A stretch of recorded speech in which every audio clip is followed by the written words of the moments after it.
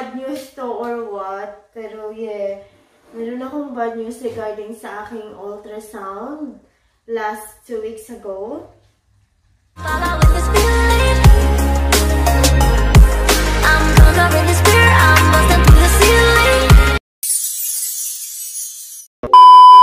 Hi guys! Good morning! So today, ayan, nagluluto ako ng pakbit, gulay. Ayan siya.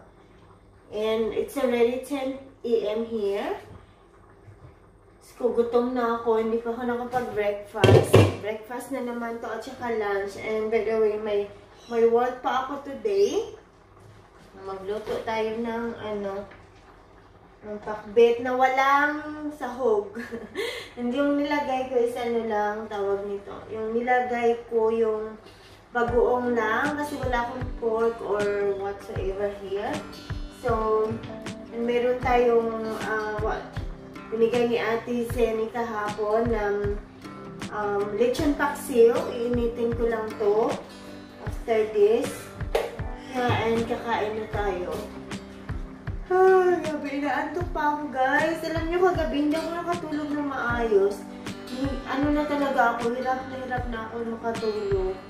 Uncomfortable na talaga matulog. And kagabi, Tawag nito, mga 1 a.m. na, hindi pa rin ako makatulog. Siguro dahil na sa ininom kong Mountain Dew. Ewan ko, ininom kasi ako kahapon ng Mountain Dew. Kunti lang naman yung nainom ko. Ay, Diyos ko, hindi na ako nakatulog kagabi. Hirap talaga. Ano, medyo may sakit yung ulo ko. And I have brown rice here. Nagluluto ko ng rice, guys.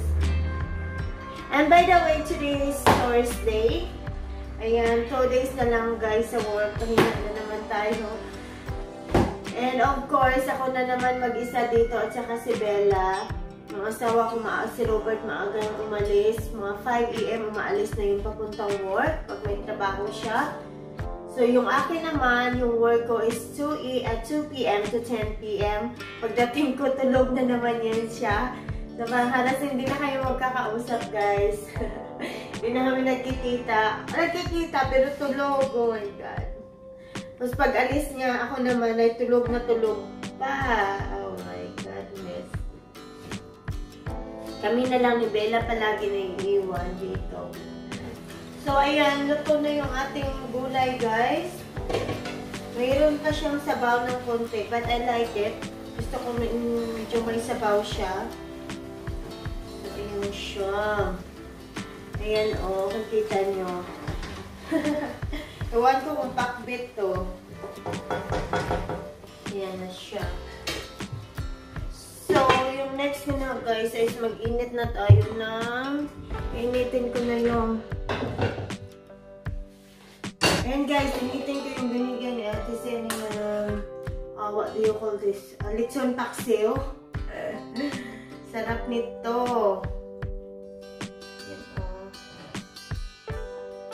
Binigay niya to kahapon. Okay, dadagdagan ko siya ng Mang Tomas, guys.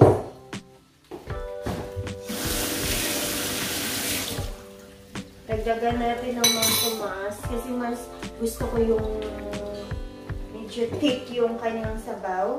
And by the way pala guys, meron akong ano, bad news. Oh, bad news to or what. Pero yeah, meron akong bad news regarding sa aking ultrasound last two weeks ago. Nakabahan ako, but hopefully maging okay. Kasi I have a low-lying low -lying placenta, guys. So, yung placenta ko is nandito sa ilalim. Sabi ng doktor, dapat daw sa taas. So, parang nakakatakot. So, instead na sa taas, nandito sa ilalim. But sabi niya, may tendency pa naman daw na aakyat yung placenta kasi umiikot yung baby. So, I have a follow-up as uh, ultrasound, guys. So, on, on my 32 weeks pregnancy. So, we'll see kung aakyat yung placenta ko or hindi. Kasi pag hindi, cesarean talaga ako, guys. Kasi, sabi ng OB ko, kailangan daw kasi pag uh, mga anak ako, una yung bata, hindi yung placenta. Kaya yung sa akin, nakakover yung placenta doon sa cervix area. Uh, ano ba tawag dito sa ilalim? Sa labasan ng bata. Nakakover doon yung placenta, so which is not good. So, pag placenta, if ever na hindi siya aakyat, magbi-bleed ako. Magbi-bleed talaga ako daw ng bonggang-bongga. Ewan ko, yan yung sabi niya. And napaka-risky daw at baka hindi lalabas yung bata. So, yeah, ano.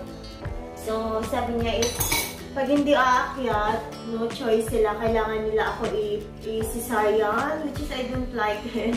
Kasi kaya gusto ko talaga mag normal delivery. Grabe, nakakatakot pa lang ganun. Ayoko mag-cesarean. Ayoko talaga as much as possible, I will try na mag-push, mag-normal delivery talaga ako. At hindi ko pa alam, hindi ko masasabi kung normal delivery ako or what. You know. Ay, ay. Matagal pa naman, pray lang talaga na aakyat pa yung placenta ko. Ayan, at may mga binawal siya sa akin. at isa na doon yung mga, at isa na doon ang no intercourse. Yun ang sabi niya. Kasi, alam niyo, yung scan ko, everything is okay talaga. Yung mga, yung uh, length ng mga ano, yung size ng baby, everything is okay. Yun lang talaga yung uh, placenta, yung doon sa ilalim. So, ayan na nga guys. ayan, luto na yung ating, ano, lechon kakse. Oh my God, ang sarap. ko. Nag, ano na ako. Hmm. Gusto ko na kumain. So, let's eat, guys. Kasi, inom pa tayo ng gamot full. So, kain muna tayo. Sarap nito, oh. Nixon paksiw at saka vegetables. Ay, nako. Gutom na gutom na naman ako. Palagi na lang late yung kain ko. At saka hindi masyadong mainit sa labas. Kasi alam nyo, every morning, nagpapainit ako. Kasi alam nyo naman, tulad ng sinabi ko last time, mababa yung ating um, vitamin D. So, kailangan talaga magpainit. Ay, naku.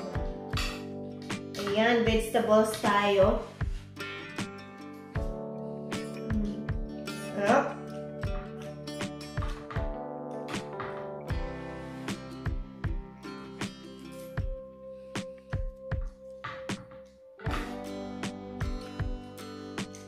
Medyo ano ngayon na, medyo gloomy. O, mababa kasi yung vitamin D natin. Hmm. Yan, meron akong bisita. What?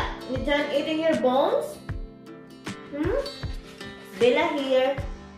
You done eating your bones? So you're full now. Are you full? Never been full, isn't it, Bella? Hindi yan siya nabubusog. Supervisor ako dito.